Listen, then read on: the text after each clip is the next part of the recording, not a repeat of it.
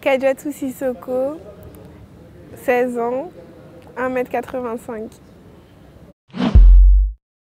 C'est ma première année. Ce serait euh, de participer euh, aux équipes de France A. Euh, c'était lors de la demi-finale contre la Hongrie au championnat d'Europe. C'était quand on a perdu en demi contre les, Espagnols devant la télé. Hmm, Hottie de Usher.